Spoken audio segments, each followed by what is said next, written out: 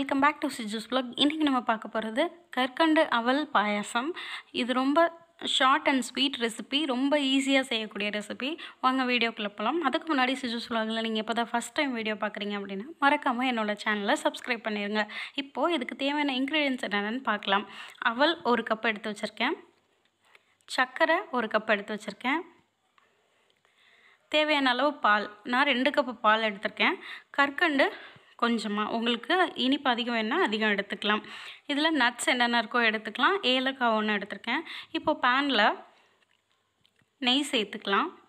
இந்த இன்க்ரீடியன்ஸ் எல்லாமே நீங்கள் எந்த கப் எடுத்துக்கிறீங்களோ அதே அளவில் எடுத்துக்கோங்க ஈக்குவலாக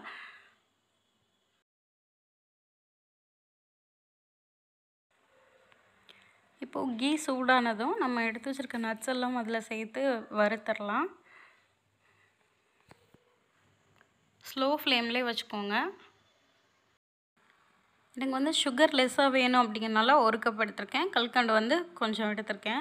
உங்களுக்கு அதிகம் வேணும் அப்படின்னா சுகரும் நீங்கள் கல்கண்டும் அதிகம் ஆட் பண்ணிக்கலாம். பால் வேறு சேர்க்குறோம் இல்லையா? ஸோ இந்த ரெசிபி வந்து ரொம்ப ரிச்சாக இருக்கும். சூப்பராக இருக்கும். கண்டிப்பாக ட்ரை பண்ணி பாருங்கள் இப்போது இது நல்லா வறுபட்டுருச்சு. இதை எடுத்து வச்சுக்கலாம்.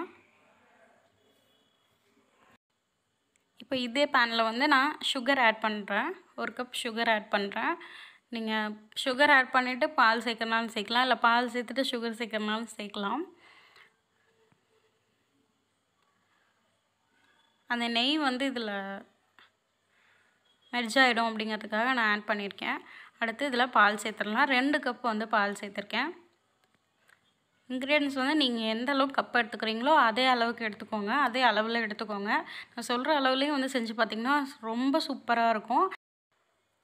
கற்கண்டு வந்து நீங்கள் அதிகம் போடணும் அப்படின்னு நினச்சிங்கன்னா அதிகம் போடுங்க. இல்லை சாப்பிட்றப்ப டிஸ்டர்பாக இருக்கும் அப்படின்னு நினச்சிங்கன்னா உங்கள் அளவு வந்து கம்மி பண்ணிக்கலாம். இந்த பால் வந்து கைவிடாமல் கிண்டிகிட்டே இருங்க. இதில் வந்து அடுத்து ஏலக்காய் சேர்த்துட்றேன் நல்லா கொதித்து இது வந்து சுண்டணும் பால். உங்களுக்கு எந்தளவுக்கு ரிச்னஸ் வேணுமோ அந்தளவுக்கு கொதிக்க விடுங்க. இப்போது இதில் அவல் வந்து சேர்த்துட்றேன் கொஞ்சம் கொஞ்சமாக சேர்த்து கிண்டிடலாம். அவல் வந்து வேகிறதுக்கு ரொம்ப லேட் ஆகும். ஸோ இதை வந்து நல்லா ஹை ஃப்ளேமில் வச்சு பட் பக்கத்துலேயே இருந்து கிண்டி விட்டுக்கிட்டே இருக்கணும். எப்படியும் அது செய்கிறதுக்கு ஒரு ஃபிஃப்டீன் மினிட்ஸ் அது ஆகும். ஸோ கிண்டி விட்டுக்கிட்டே இருங்க. அப்போ தான் வந்து அவல் வந்து நல்லா வேகும்.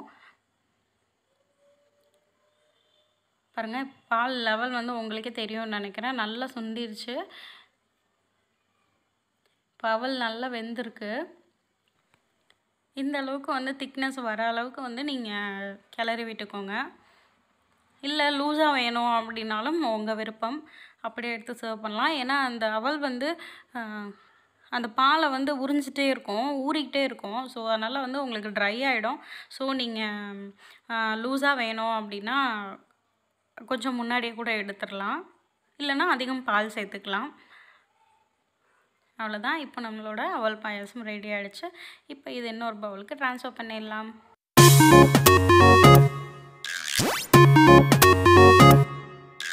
இப்போது இந்த அவல் பாயாசம் மேலே நம்ம கற்கண்டு வந்து தூவ வரும். இதுதான் வந்து பார்த்திங்கன்னா இதில் ஹைலைட்டாக ஏன்னா ஆல்ரெடி மில்க் இருக்குது சுகர் இருக்குது அப்படிங்கிறனால நல்ல ரிச்சான ஒரு டிஷ்ஷாக இருக்கும். இப்போ இதில் வறுத்த நட்ஸ் எல்லாம் சேர்த்துக்கலாம்.